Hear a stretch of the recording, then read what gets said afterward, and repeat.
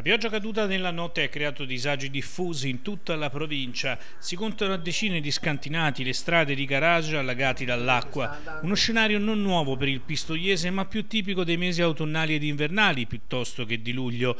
Secondo le rilevazioni fatte nella zona del Montalbano, sono caduti circa 80 mm d'acqua che hanno mandato in tilt le fognature e la rete minore del reticolo idraulico. Sotto accusa, da parte che si è trovato ancora una volta allagato, è la manutenzione dei fossi. Sono pieni di, di, di sudicio, bottiglie, di tutto di più. Non viene tagliata l'erba, dove viene tagliata viene lasciata dentro la fossa, di conseguenza la, la fossa non è, non è, più profonda, non, non porta più acqua.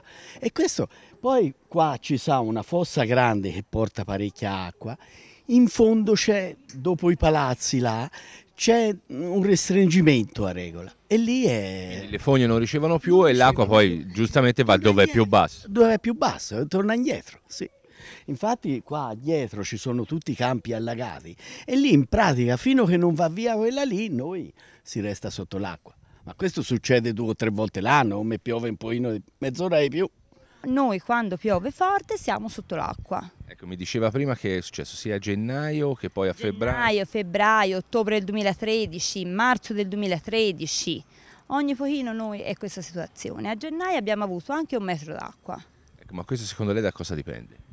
Ma io non lo so, qui le fosse non ricevono, io non lo so, non me ne intendo. So solo che ogni pochino noi bisogna stare attenti con le macchine a spostarle da garage, a levare tutta la roba da garage perché non si vive più qui.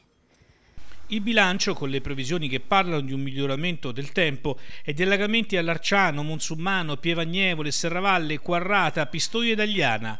Da poco dopo la mezzanotte e mezza di martedì sono state tantissime le chiamate giunte al centralino dei Vigili del Fuoco per segnalare situazioni critiche.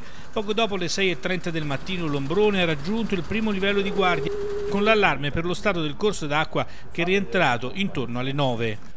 A Cantagrillo una coppia di anziani è stata fatta evacuare dalla propria casa invasa dall'acqua Squadra dei comuni e delle associazioni di volontariato, spiega la provincia di Pistoia facendo il punto sulla situazione, hanno lavorato per svuotare scantinati e parcheggi e per ripristinare la viabilità interrotta.